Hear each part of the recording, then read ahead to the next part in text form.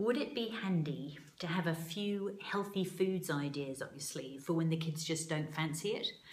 Well, there have been quite a few ideas actually that have popcorned over the years of having been an auntie, um, having run parents' workshops, um, working with my siblings um, on, on the job, if you like, with kids, and also friends with children, and also the research that I did for my book, Delicious Eating Naturally.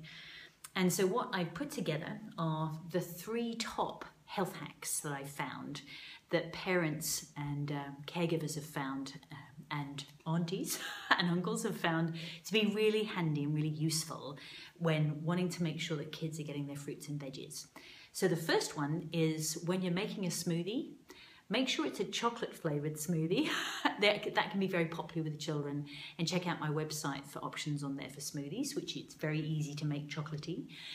And take a couple of large spinach leaves, make sure they're clean, uh, obviously wash them, and then pop them in the blender and this will disguise them. The chocolate, strong, strongness of the chocolate will actually disguise them. But start off small and then make sure that your kids are actually happy eating that and they haven't spotted anything before you increase the number of leaves that you pop in. So there's number one.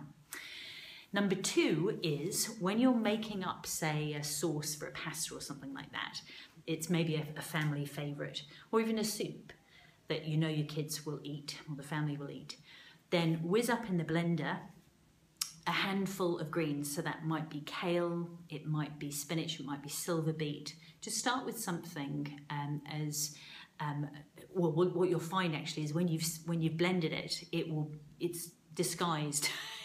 it's very challenging to spot it. So when you are cooking your sauce or your soup, pop that in and it won't be seen or tasted. It's amazing how easy it is to get that in. But just start again with a small amount until um, nobody's made any comment, and obviously you don't need to comment uh, that you've done either of those things, step one or step two.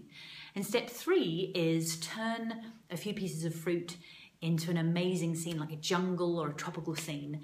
And a friend had an amazing time doing this the other day, where she would, kids come home from school, they'd be famished, and she'd, fruit is an obvious goodie to make sure that we're giving to our kids lots of um, vitamins, minerals, phytochemicals, energy, low GI, ideally, would pick up a low GI.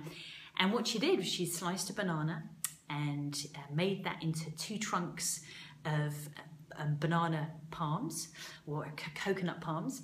And then she took an orange and divided up into the segments which made the branches of the trees, and then some grapes which made the coconuts in the trees, and then some kiwi fruits that she um, peeled and sliced, which made the grass. And she left it out on the side on the cutting board with a few forks and when the kids came home from school it was gone. She timed them within about three minutes flat. And until then the kids weren't interested basically. So if you need some inspiration then check out my book the link for my book um, delicious eating naturally and take heart you know for a client recently a friend she found fabulous results with her child who, up until that point, basically had refused to eat veggies, and he ate some for the first time in a long time. And I'd love to hear how you get on.